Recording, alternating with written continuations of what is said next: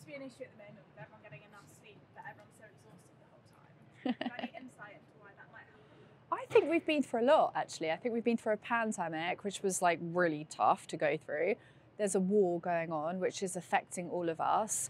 You know, um, prices are going up everywhere. The cost of living is going up. There's, there's a lot of things going on that are like underlying, sort of bubbling away in our psyche. And I think a lot of that is on our minds. And it may, you know, and on top of that, we're like living life normally, right? So there's a lot of stuff that's going on. And I think what's really important with sleep is to treat yourself like you would a baby. So, like, instead of being on the phone all night long scrolling through TikTok, you know, what might be a better thing to do is to like put your phone away an hour or two before you go to bed.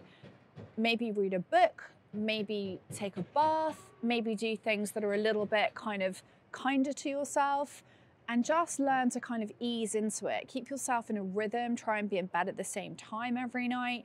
And also don't like kick yourself if you can't sleep. Like sleep will come and it's a matter of routine and it's a matter of, you know, the other thing I would say is to, to, to everything that's going on in your head to write it down and put it on paper. That's also really helpful so it's not swimming around your brain at night. And to be kind and gentle with yourself, right? That is always the key.